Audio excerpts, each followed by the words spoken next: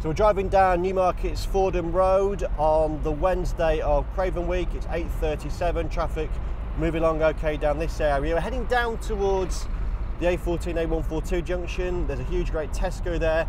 And there's also Hatchfield Farm, a property owned by Lord Derby and which for ages now, for what seems like an eternity, has been at the centre of a major dispute in Newmarket. In short, Lord Derby wants to build on it. He wants 400 houses, he wants a primary school, which he says all will meet the, the need for housing in the local area.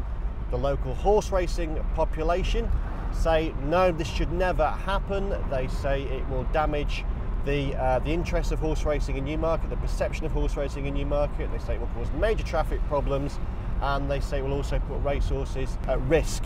Been going back and forth, in and out of court, etc., etc. The local authority, Forest Heath District Council, I said yes, it should happen. The government rejected it. That government decision was then turned over in the High Court. At some point soon, a final yay or nay is going to be given to Hatchfield Farm. At the moment, unless the government turns it down, it will happen, which means we are at major stakes time in the Hatchfield Farm debate, and we're here to speak to people about this hot topic. So this is Hatchfield Farm, just at the back of Stanley House Stud, which is home to Lord Derby's great mare Ouija board. The site is currently used as arable land. It runs alongside a busy road with a large Tesco opposite. The contentious development plans have been revised over the years, but the latest submission to the local authority is to build 400 homes down from an original proposal of 1,200 on the site. Leading the fight against the development is County Councillor and former Town Mayor Rachel Hood, who is also founder of the Save Historic Newmarket Group.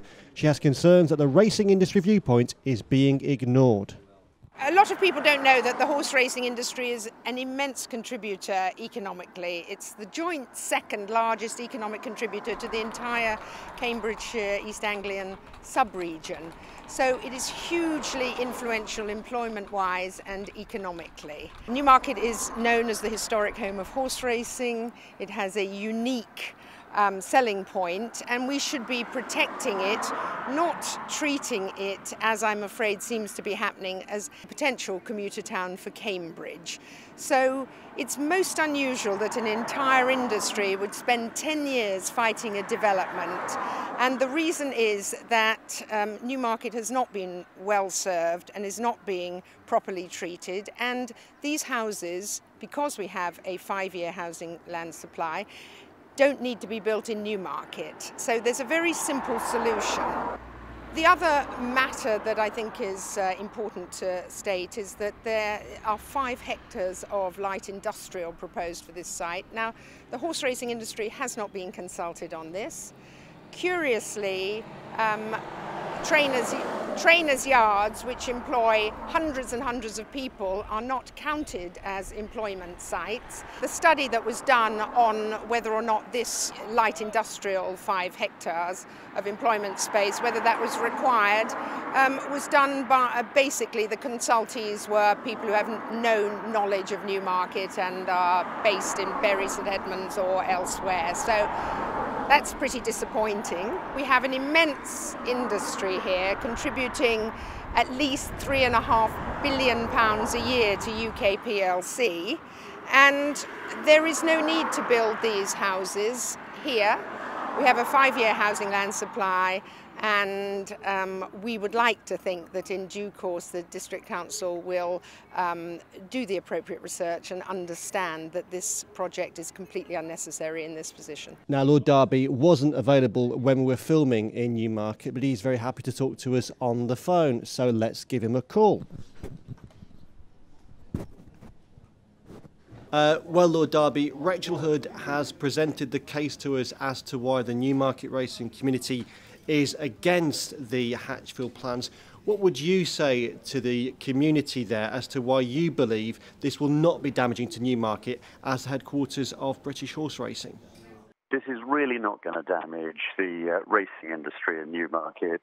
Uh, I've got horses in training with three different trainers, and my stud is the very closest stud uh, to the Hatchfield Farm site. So there's absolutely no intention of, of that. What we've seen is a huge increase in the number of horses in training in Newmarket in, in recent years.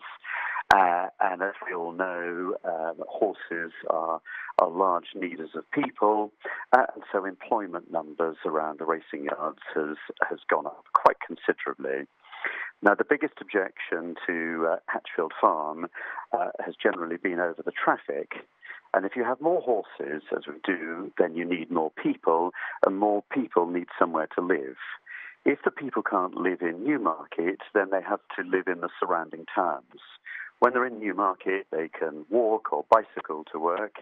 Um, if they are in surrounding towns, not only is that less feasible, and so they have almost certainly have to drive in, uh, but then their, their families also have to drive in to the supermarket, doctors, schools, and so on. And so I believe this does address those issues.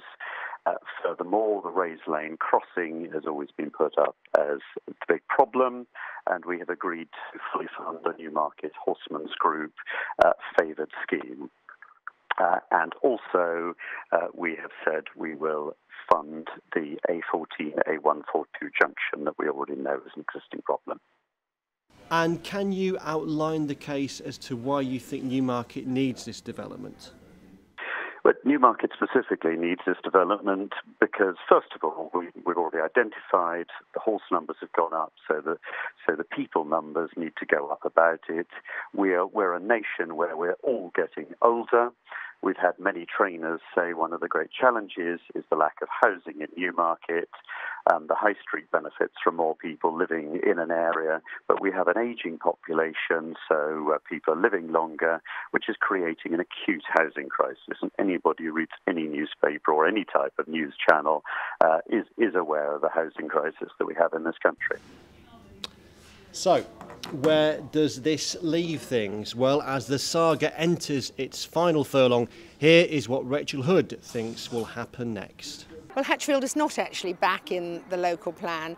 The District Council voted um, to put it back in, but it has to go out to consultation. Yes. I'm optimistic that the District Council will follow the lead of our uh, excellent MP and realise that Newmarket is unique, it's historic, and once it's gone, once Newmarket is turned into any old town, a commuter town for Cambridge, it's gone forever.